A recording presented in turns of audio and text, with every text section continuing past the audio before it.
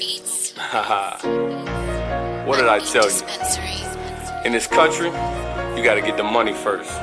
Once you get the money, then you get the power. Once you get the power, then you get the women. That's savage right there, bro. You can hear the whispers in the streets.